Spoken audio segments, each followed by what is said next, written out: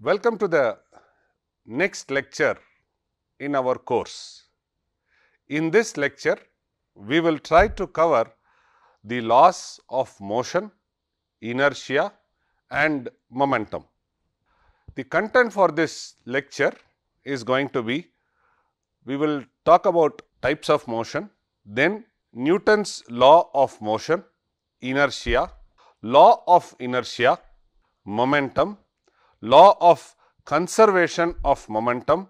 Then we will try to have one or two simple questions to solve and finally, we will have a recap of this lecture. This lecture is very important because in engineering if things have to be developed or if it has to move then all these law play a very important role. Many a times what happens is for engineering application, we use the basic science predominantly and we call it as first principle. And then in that we try to add an error approximation and then we try to build a solution keeping that thumb rule or the first principle plus the error equal to the new technology whatever we develop in a lighter sense, if we want to develop a wall, we try to find out what is the force which is coming to the wall, take this wall as a dam. So, what is the force the water will give on or the pressure will give uh, by the water onto the wall. So, we try to take it and then what we do is we multiply it with a with a factor of safety 10 times, 20 times, 3 times whatever it is and then finally we construct a wall. So, basically all the higher end derivations which is happening will start from simple principles only. So, this lecture is very important when we are looking it from the technology point of view. So, what is motion? Motion is defined as a change in position of an object over time. It can be walking, it can be a ball falling, right? It can be a pendulum swinging, it can be a centrifugal force, it can be a clock moving, it can be anything, it can be a rocket moving. So, all these things are called as motion. Its example include book falling, water flowing and rattling windows. If you see a cyclist going is a motion, a man walking is a motion, ant crawling is a motion, earthworm inching is a motion. So, all these things are motion. The only difference between all the man walking, ant walking, uh, earthworm inching, the difference will be the speed. Right. So, examples include book falling, water flowing and rattling windows. Everything in this universe including air and atom is in a constant motion.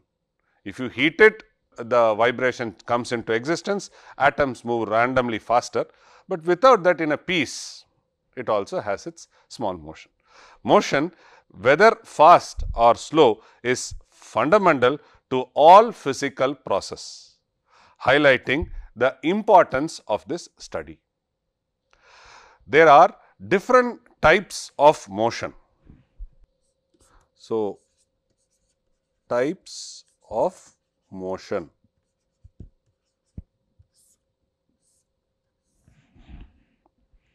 They are linear motion, rotatory motion,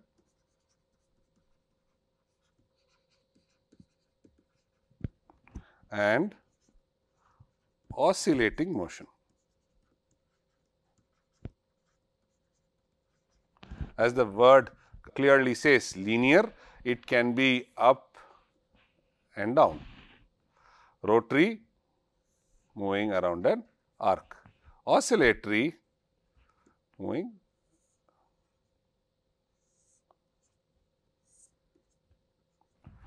okay, a pendulum. So, these are oscillatory motions.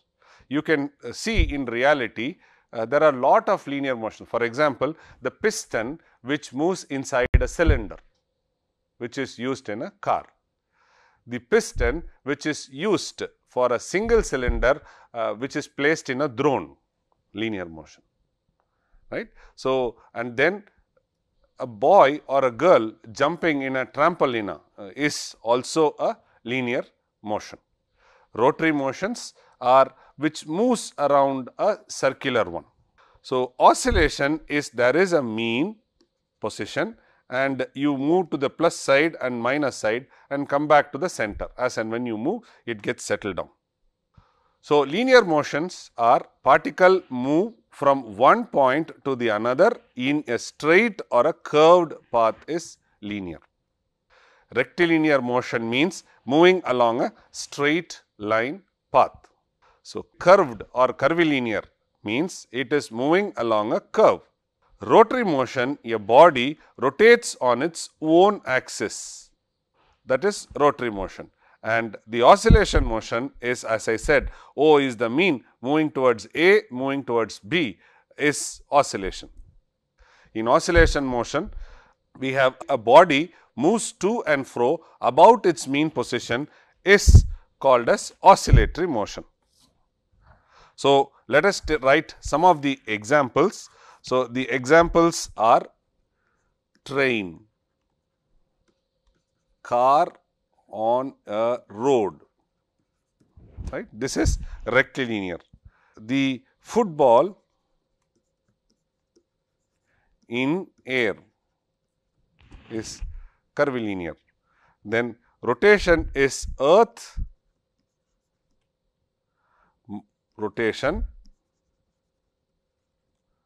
or wheel of a car they are rotation motion. For oscillation, we have a swing, a guitar, string and a clock. These are few examples of oscillatory motion. So, if you understand these motions, then it becomes easy for you to plan a drive. Generally, in an engineering system, what happens? You will have a drive or a driver. This will be attached to a motion, so that you will try to get an output. It that is how it is. So, now you know the motion, you have to understand the motion. So, once you understand the motion, then you can plan the driver. So, driver here, uh, it can be an engine, it can be a motor, whatever it is. Okay. For the required output, you plan everything in line. So, you have to understand the importance of motion. From here, let us move to Newton's laws of motion. Newton has formulated three laws of motion, which are the basic postulates or assumptions on which the whole system of dynamics is based. Later in our lecture, we will be studying about kinematics and dynamics. So, for dynamics, these laws of motion are the fundamental assumption. Like other scientific laws, these are also justified as the results so obtained agree with the actual observation. So, let us now understand Newton's law laws of motion. Okay. So, if you can see a man standing in a boat, a sailor. So, this is the action and opposite to him he has a reaction. So, we are when we try to uh, stand in a bus or a train, when the train is moving and when you apply brake, the man moves so, that is also part of laws of motion. When we are trying to pull, when two people are trying to pull and one person when he is trying to pull with, with some load. So, you can see here all these things follow laws of motion. If an object does not interact with other object, a stationary object, it is possible to identify a reference frame. This is important when you are getting into robotics field. So, there we talk about reference frame. What is a reference frame? You try to say x, y and z. That is the reference plane, right. So, it is possible to identify a reference frame in which the object has 0 acceleration or in the absence of external force and when viewed from an inertial reference frame, an object at rest remains at rest and an object in motion continues in motion with a constant velocity. You can either frame like this or like this. So, in the absence of external force, if I do not push, when viewed from an inertial reference frame, an object remains at rest and an object in motion continues in motion with a constant velocity. So, here that is with a constant speed.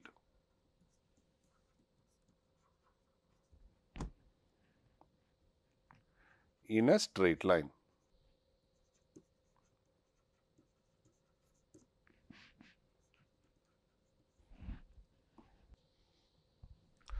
So, an object at rest remains at rest or if in motion remains in motion at a constant velocity unless acted on by a net external force. So, according to Newton's first law, an object in motion continues in motion with the same speed and in the same direction unless acted upon by an unbalanced force. So, this is important. The object continues to stay in rest, a moving object continues to move, keep on moving with the same speed until and unless you apply an external force that does not get disturbed. It is the natural tendency of objects to keep on doing what they are doing. All objects resist change in the state of motion. For example, you are going in a car at 100 kilometer speed you are traveling and suddenly there is a uh, there is a, a hippopotamus coming in between or there is an elephant coming in between or a person is coming in between you apply brake. So, you see there is a huge load on the passenger or you move up and down uh, front and back in, in the car, right. So, for that only to avoid that front and back motion, we try to uh, request all the passengers to wear a belt while traveling in the car.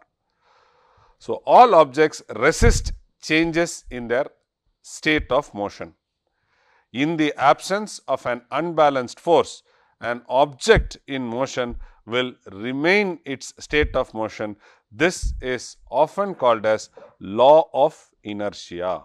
If you see the person who was walking or he was going in a skateboard and he was continuing to be in motion until he hits an obstacle. Moment he hits an obstacle, he there is a resistance and there is imbalance, so he falls down. So, examples of Newton's first law in a car collision, an unbalanced force decelerates the car abruptly. So, when we have to do a crash test, before every car is released to the market, the uh, automobile industry does a crash test. In crash test, basically what they do is, they try to put an obstacle and try the car to move in multiple speeds and try to hit at the wall, see what is the damage. So, if you see this is an example of Newton's first law. If passenger wear seat belt, they decelerate with the car sharing its motion. Without a seat belt, passengers would not decelerate with the car and will continue to move risking injury. Seat belt provide the necessary force for safe deceleration. So, that is why we ask all the passengers to wear seat belt either in while traveling in a car or traveling in a plane.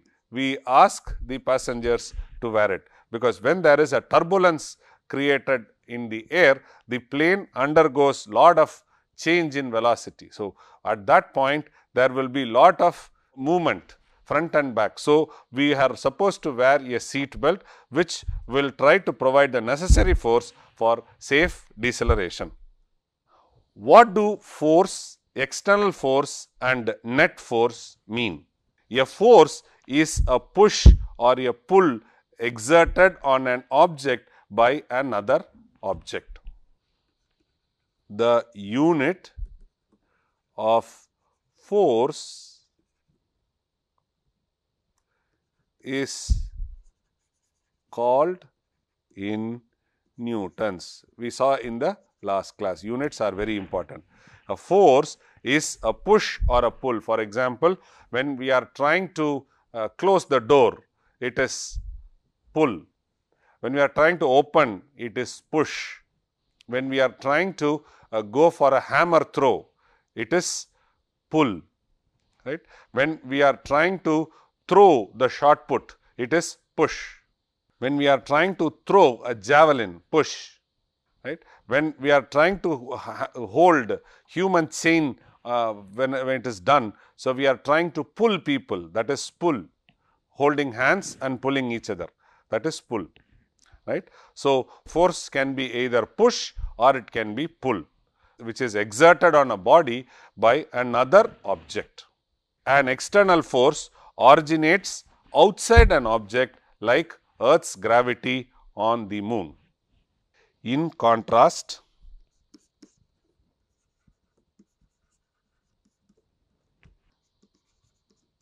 internal force, there is external force, there is internal force. Internal forces such as such as the moon, moon's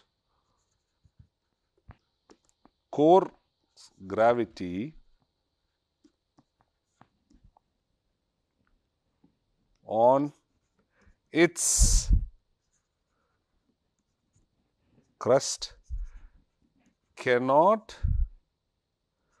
change the object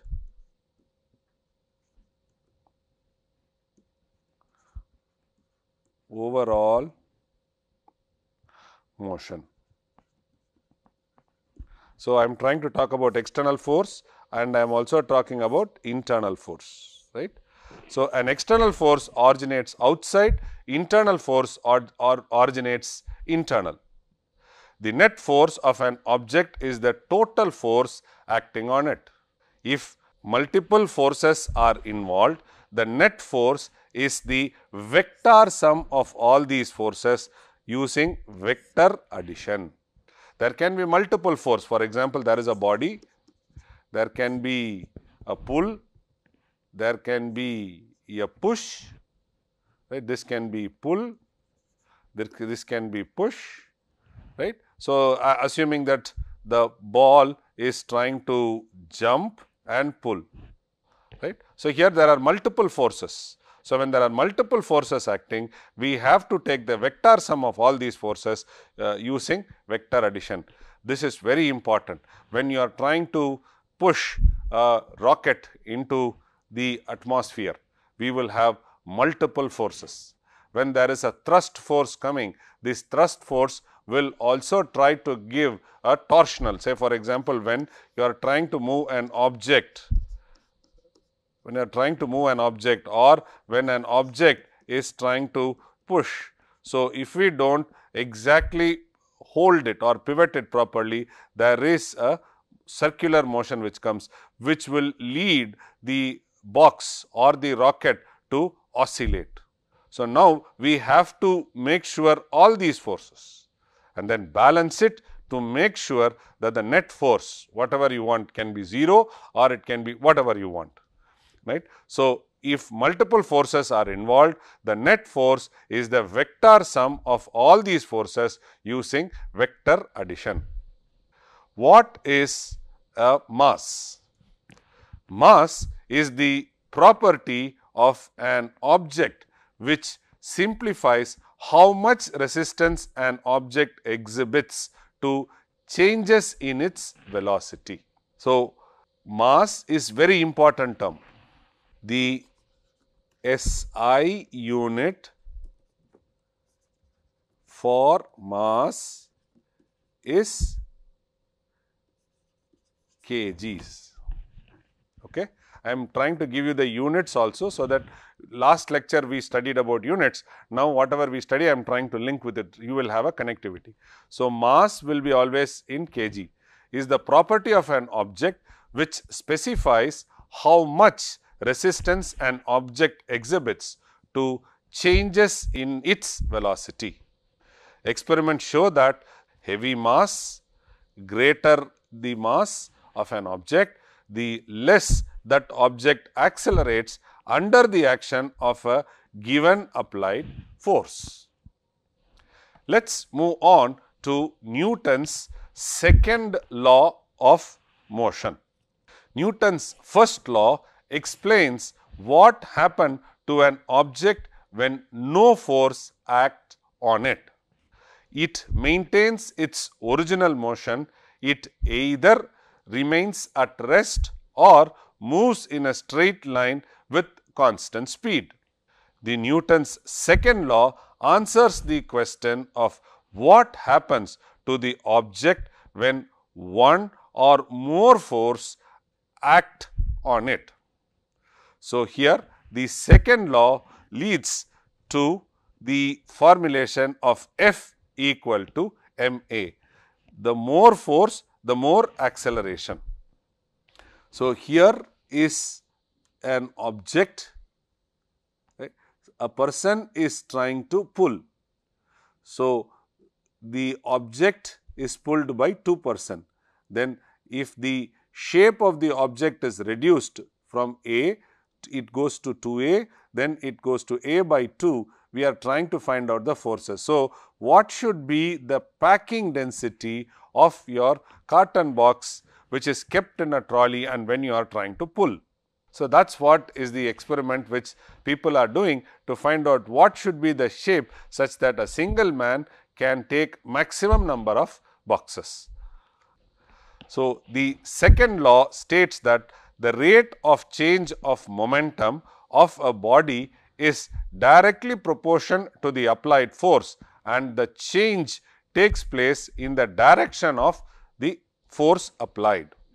Acceleration produced in a body is directly proportion to the applied force. So, what we are trying to say is F is proportional to ma. So, acceleration uh, uh, produced in a body is directly proportion to the force applied. Examples of Newton's second law. When we kick a ball, we exert force in a specific direction. The stronger the ball is kicked, the stronger the force we put on it and further away it will travel. The same is for javelin, the same is for shot put, the same is for discus throw, the same is for car also getting accelerated, the same is for the thrust which is given by a rocket into the air. It is easy, it is easier to push an empty cart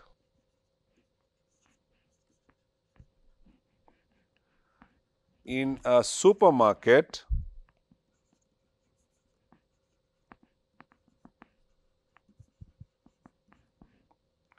than a uh, loaded one. Why? It is because more mass requires more acceleration.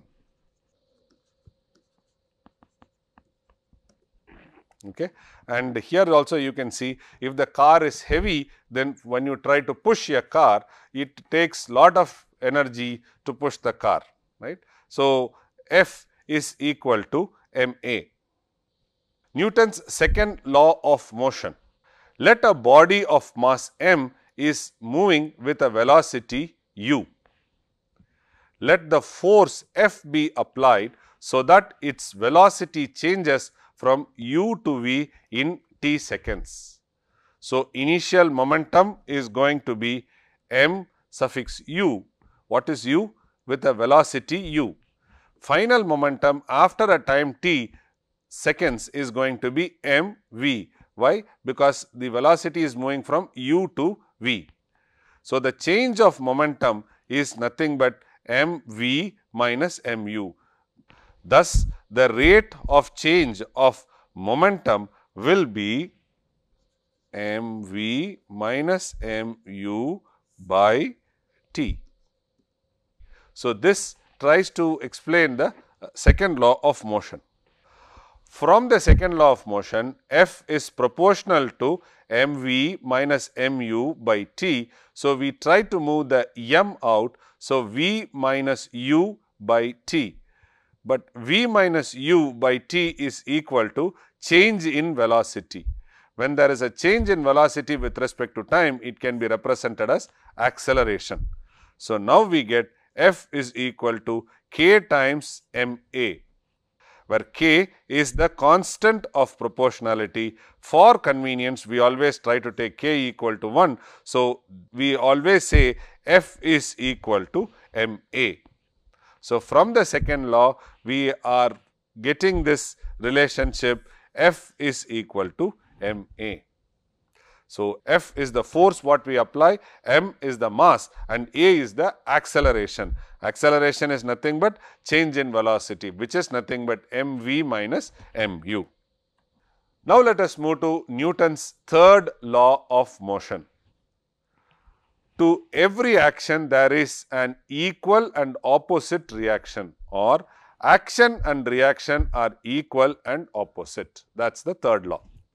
When a body exerts a force on another body, the other body also exerts an equal force on the first in opposite direction.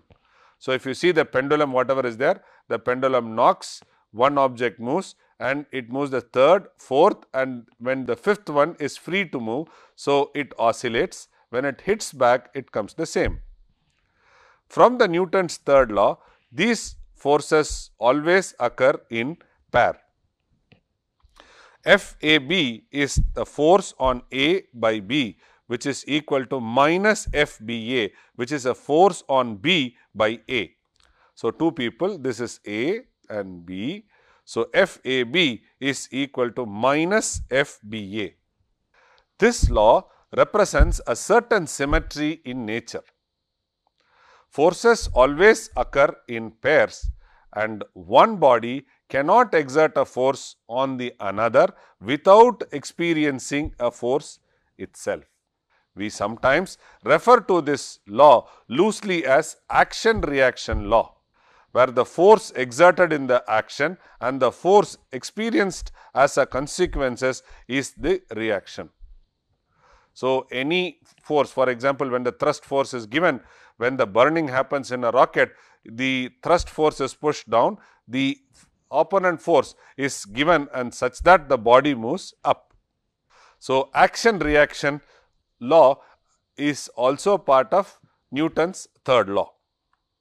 Examples of Newton's third law are easy to find in daily life. As a professor paces in front of a whiteboard, he exerts a force backward on the floor. The floor exerts a reaction force forward on the professor that causes him to accelerate forward. Another example we take is a car accelerates because the ground pushes forward on the driver wheels in reaction to the drive wheels pushing backward on the ground. You can see evidence of the wheels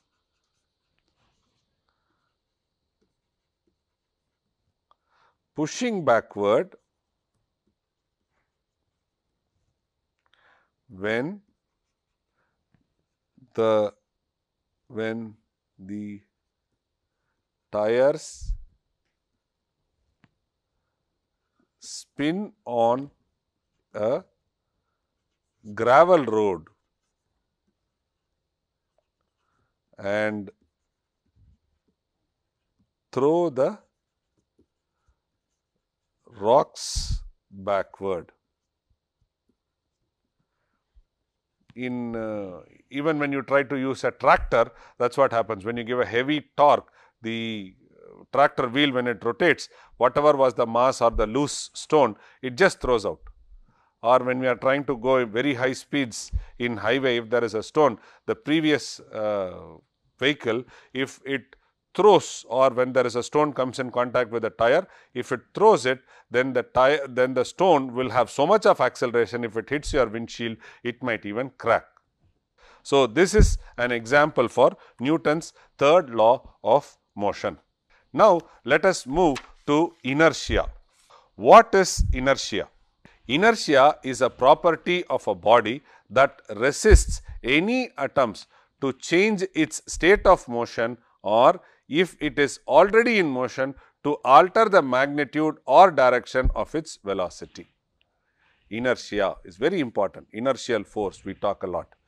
Inertia is a passive attribute preventing the body from acting except to oppose forces and torques.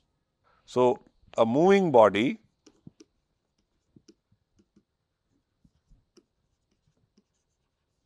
continues its motion not due to inertia, but because no force acts to decelerate alter its path or or accelerate it. So, the inertia you can see some of the uh, examples of inertia you keep a paper and a coin when you try to strike it the coin falls inside inertia. So, uh, a body moving uh, with all the balls, heavy balls moving along a slope. So, when it comes the ball gets slipped down and then uh, as I already discussed uh, placing the belt while driving in a car. There are three types of inertia. One is called as inertia at rest, the other one is called as inertia in motion, then it is inertia of direction. All the three are very important they are all part of inertia. Inertia at rest when you are trying to travel in a bus, when the driver applies a brake, you move back and forth that is inertia of rest. So, when there is an object you are trying to or a coin when you are trying to strike at the coin the coin moves it is inertia at rest right. Then the next one is inertia of motion is when you are trying to jump long jump when you are trying to jump it is inertia of motion. Then while traveling in a car applying a brake seat belt application is a inertia of motion. Then you also have an inertia of direction is when you are trying to go at a very high speed along a, a slope then what we have is inertia of direction. Now, let us study in detail.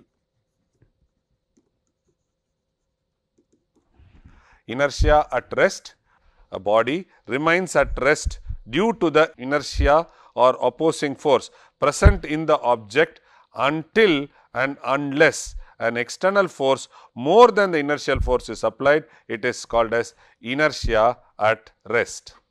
What is inertia of motion? When a body in motion remains in motion until and unless an external force is applied to the body. So, it can be a brake, it can be friction, anything. Uh, by using a rope you are keep climbing and suppose if there is a resistance offered or if the rope moves, then what happens is the inertia in motion comes into action. Inertia of direction, a body moves in one direction, remains in the same direction until and unless some force is applied in order to change the direction of the body. Suppose if a body is in one direction, right, it keeps on moving until and unless there is an opposite force is applied and then in order to change the direction of the body it is there. For example, a ball is rolling in this direction. Now, somebody comes and kicks the ball. So, now the direction of the ball changes. This is a football. The ball is moving in this direction. This is moving and somebody comes and kicks the ball. So, you see the ball is now swinging in air and the direction of the ball is changed. The law which is involved are law of inertia. The law of inertia also called the first law of motion is the fundamental law of physics that was proposed by famous English scientist Sir Isaac Newton. The law of inertia states that an object in the state of rest or motion always remains in its initial state until and unless external force is applied on it. This is the law of inertia. So, let us see some of the examples of law of inertia. A ball rolling on a frictionless table in a vacuum rolls for infinite time until an external force is applied on it. A ball is rolling on a table where there is no friction at all and if there is friction, friction on the table is 0, then when the ball is rolling there can be an air resistance. So, that was also taken care by vacuum rolls for infinite time. Once you kick the ball, it ball keeps on be rolling. A person standing on a moving bus moves forward when the brake of the bus are applied. Shaking the branch of a tree with fruits makes the fruits to fall on the ground because they are in the state of rest etc. So, all these things are examples of law of inertia.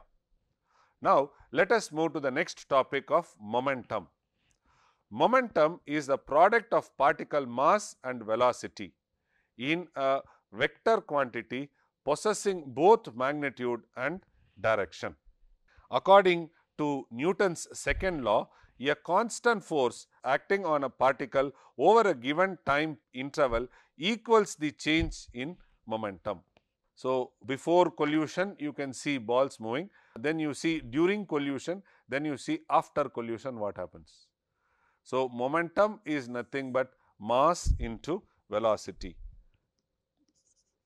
Conversely, a particle's. Momentum. Indicates the time required for a constant force to bring it to rest. Okay. So, this is a statement which is made. Conversely, a particle's momentum indicates the time required for a constant force to bring it to rest.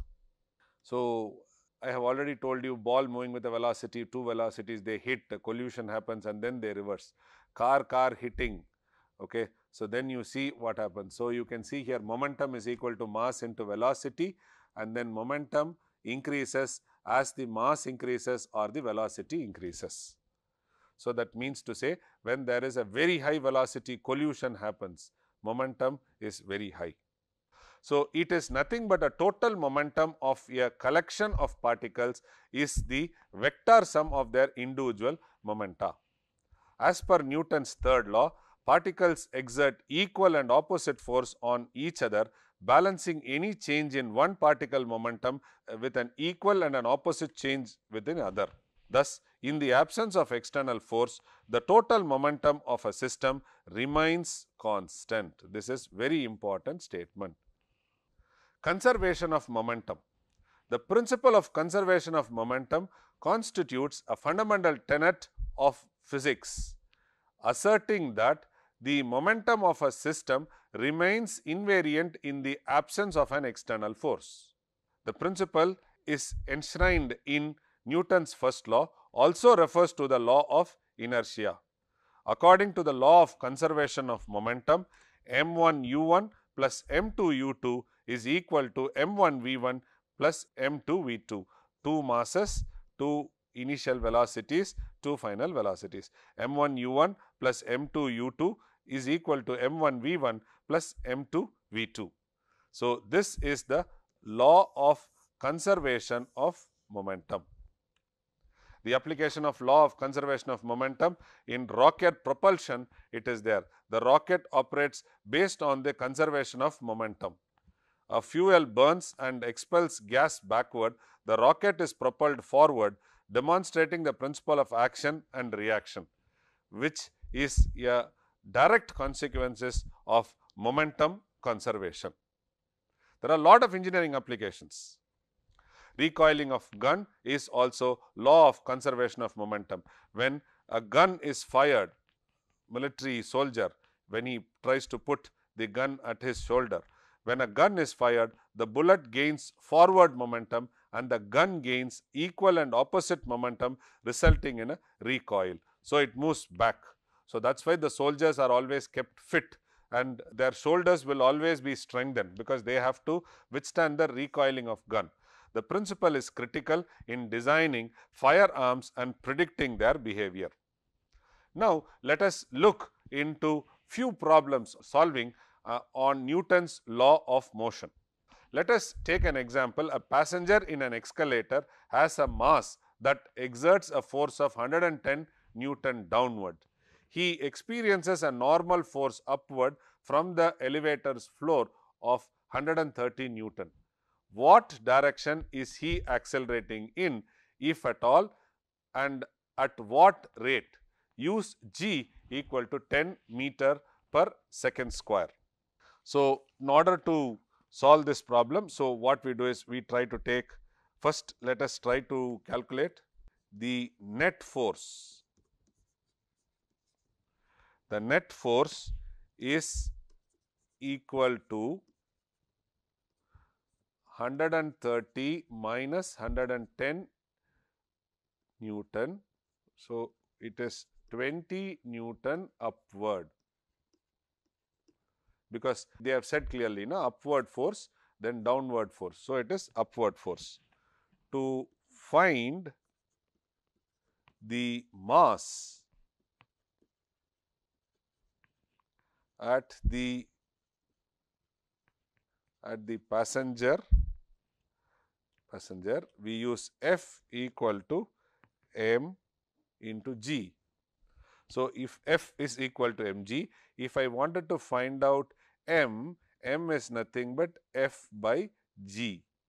So, m is nothing but m is nothing but 110 Newton divided by 10 m second square which is nothing but 11 kgs meter per second square. Okay. Next, let us take another problem to solve, a very simple problem.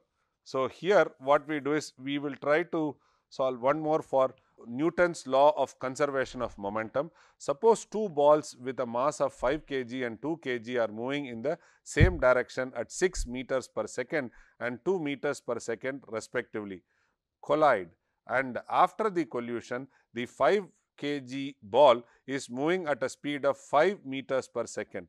What is the speed of the 2 kg ball? So, here what do we do is we try to take 5 kg into 6 plus 2 into 2 equal to 5 5 plus 2 into V2 so, what is that? The formula will be m1 u1 plus m2 u2 equal to m1 v1 plus m2 v2. Okay. So, now what we are getting is it is nothing but 30 plus 4 equal to 25 plus 2 V2.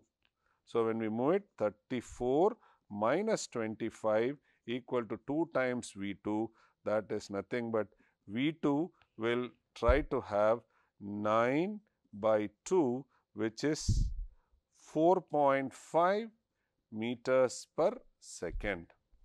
Okay. So, this is the way we solve law of conservation of momentum problem. So, to recap whatever we have studied in this lecture, we have studied what is motion and its type, what are Newton's law of motion, then we have explained Newton's first law of motion with examples, define force, external force, net force.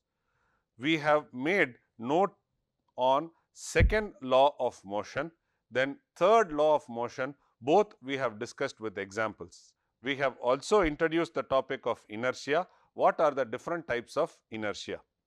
Finally, we have looked into momentum, law of conservation of momentum. Engineering solely depends on these basic principles. Let it be aerospace engineering, let it be fluid mechanics, let it be thermodynamics, let it be electrical engineering, let it be chemical engineering. So, for all these departments, the fundamental studies starts from this Newton's law of motion, inertia, momentum. I am sure you would have learnt something new in, the, in this lecture. I wish you good luck. These are the references and thank you so much.